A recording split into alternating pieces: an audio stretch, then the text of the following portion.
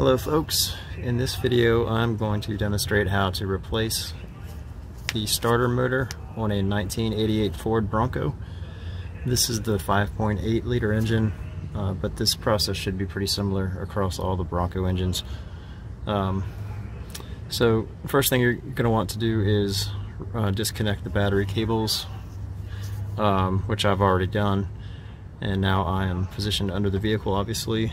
Um, I'm on the passenger side looking towards the rear and uh, you can see right here is the uh, engine oil pan and right here is the exhaust that crosses behind it. If you look just above the exhaust, that's the starter right there. So the first thing we need to do is disconnect the uh, wiring right here, which is held in place by a uh, bolt right there. Uh, I believe that is a 5 8 sorry, 3 8 bolt. So I'm going to go ahead and remove that and then there are two bolts that hold the, actually hold the starter in place and we will remove those next.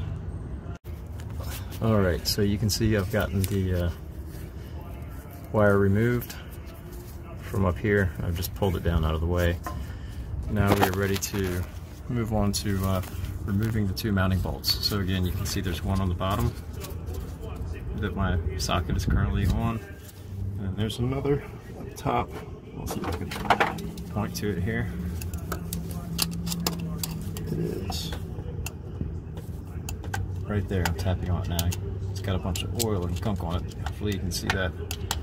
So we just need to remove those two and then finagle the starter out of position here. Um, those bolts both require a, let's see what this is, a half inch socket. So I'm going to remove this one first so that the top one can support the weight. And then I'll uh, carefully remove the top one and pull this out of here. So let me get that done and I'll be right back. Alright, so I've gotten both the top and bottom bolts removed. And you can see the starter is now loose. So I'm going to need two hands, but we're just going to kind of pull it um, down through the opening here. Watch out for these, uh, I think these are transmission lines.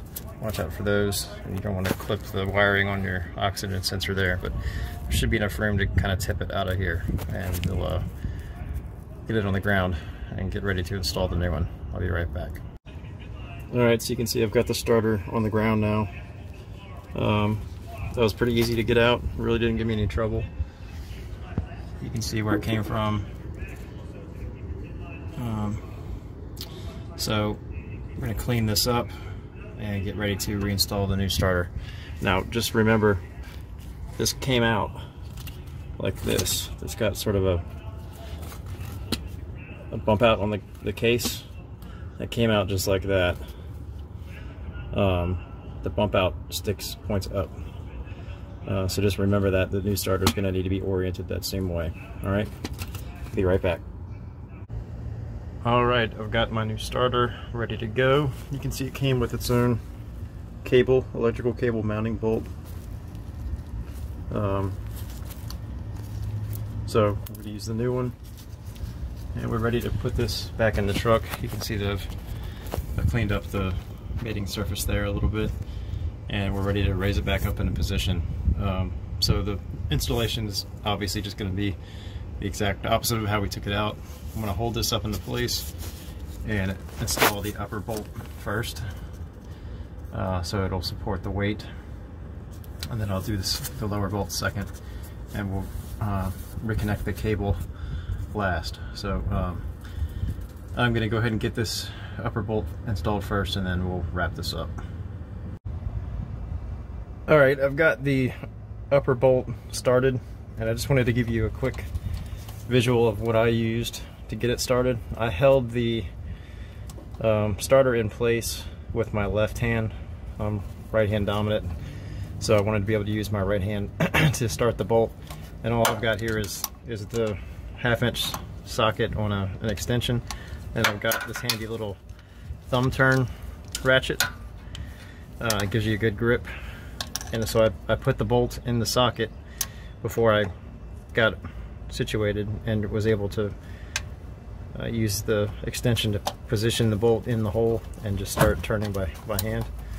uh, and so I've got it in, hold, in far enough now that it's not going to come out and now I can uh, position the lower bolt easily. Okay, I've gotten the bolts tightened down and I'm ready to finish making the electrical connection. You can see I've already got it started. So the connector on the cable actually kind of slides between this terminal post and a little copper plate above. So just slide your connector between there and then the bolt goes in from the top side and you just tighten it down and then you're done. So I'm going to finish tightening that up um, and we will try starting the truck, see how this goes. Okay, before we start the truck, um, I forgot to mention that when you replace the starter, it's also a good idea to replace the starter solenoid, which is right here. Just mounts to the passenger side fender. Uh, it's real easy to replace. It really just has two bolts that hold it to the fender. Uh, and then of course you get a bunch of wiring connections that I've already undone. But basically on, my truck, the, uh, you can see my my solenoid's falling apart. It disintegrated. I guess the plastic had gotten brittle. In the process of undoing the electrical connections, it snapped. Um, but basically you've got the terminal here and the terminal that just fell off right here. Um, you've got uh, the battery connection on one side and the starter connection on the other. So really all this is is a switch. When you turn the ignition key, it sends a 12 volt signal to this terminal right here that allows the plunger, creates a uh, there's a magnetic or a copper coil in here that creates a magnetic field that allows the plunger, plunger inside to make contact and bridges the gap between these terminals. So it sends battery power through the solenoid down to the starter. Um, I believe on my truck this is the battery side and this is the starter side. Um, so you can see I've already undone the connections. Just take a photo before you um, take everything apart so you know where it goes back. Um, I'm going to finish removing this old broken one and we'll get ready to install the new one here shortly. Alright, so you can see I've got the old uh, solenoid removed. I've got my new one here ready to go in.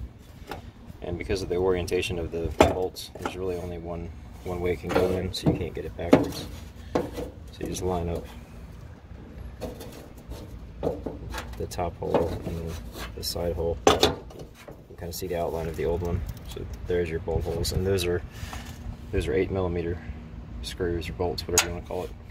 So I'm going to get this mounted and uh, we'll reinstall the wiring connections. Uh, it's important to not over tighten these. Uh, perfect example is, you know, my old one snapped. The housing on that one was plastic. The replacement feels like it's better quality. This feels like it's a metal housing. So that's good, but you still don't want to over, over tighten these things. So I'm going to install this and we'll work on the wiring next. Alright, I've got everything reconnected. Um, once again, just, you know, take a picture before you take everything apart and make sure you put it back exactly as you removed it. If you do get confused, your new solenoid should have instructions. Mine did. told me which was the battery terminal, which was the starter terminal, and of course your ignition connection goes there.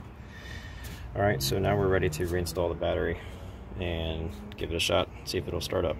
I'll be right back. All right, the battery's back in the vehicle and we're ready to go ahead and see if it'll start up. We'll see what happens.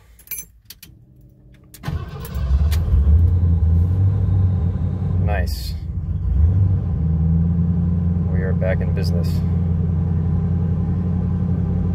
So I hope this video has been helpful. This is a really pretty simple project that anybody can do. Uh, you really don't need any special tools. You just need a few basic sockets and um,